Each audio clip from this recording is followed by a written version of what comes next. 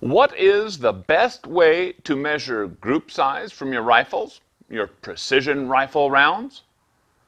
Well, that answer is to use MOA, minute of angle. Now, minute of angle is an angular measurement, hence the name, minute of angle.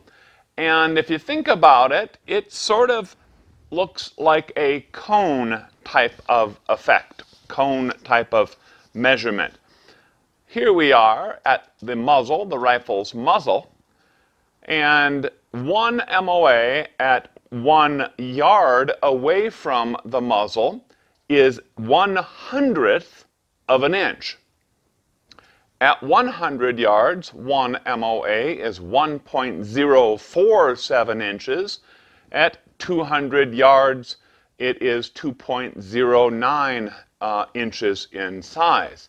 So it's an angular measurement that uh, does have an equivalent when we convert to inches or, if you like, into millimeters or centimeters or those sorts of things.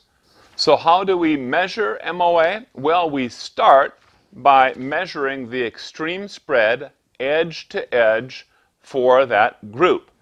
This group was shot with a 6.5 Grendel at 200 yards. I'll go ahead and make that measurement.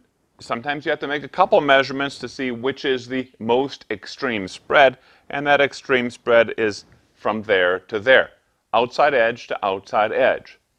And I'm going to multiply that measurement by the value of 100. Now note, to calculate true extreme spread, we have to subtract the size of the bullet, the caliber of the bullet, from the measured edge-to-edge -edge extreme spread.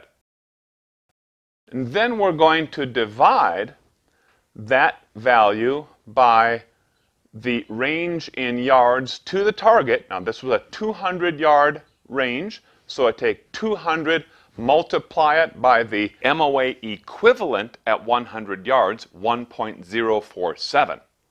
And that is the MOA for this particular group.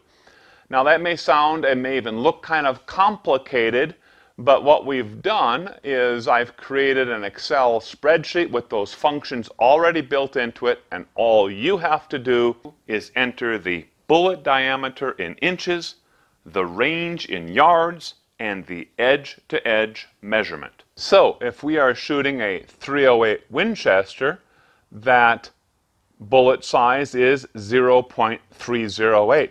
Same thing if we're shooting a 30-30 or a 30-aught 6.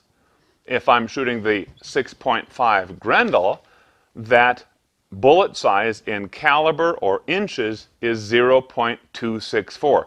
But those are important things to know. Very easy to look up though as well.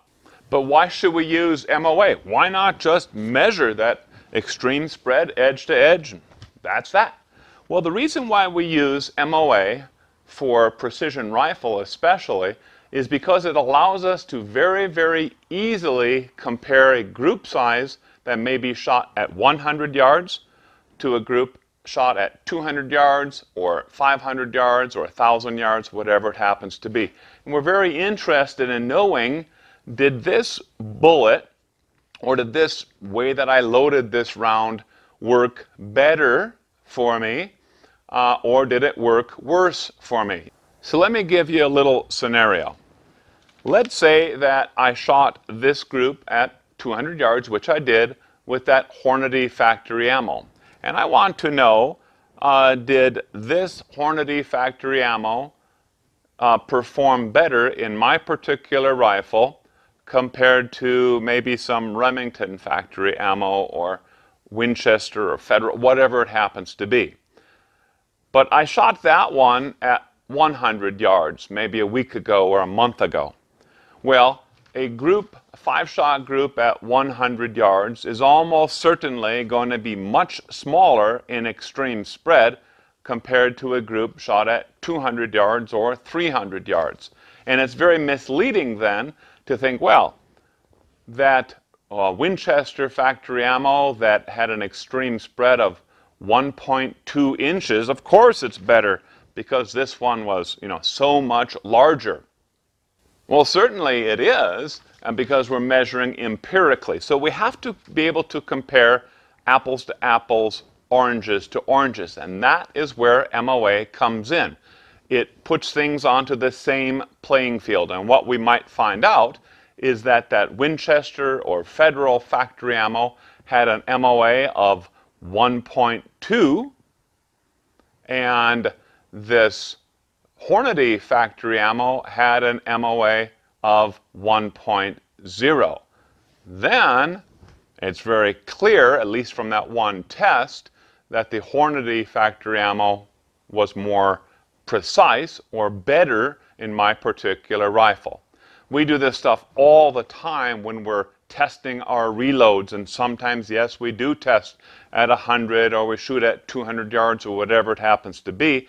We want to see how that bullet is responding uh, at different ranges uh, so on and so forth.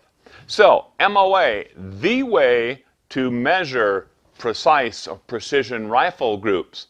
I hope this helps you understand rifles uh, and precision rifle shooting. Thanks for watching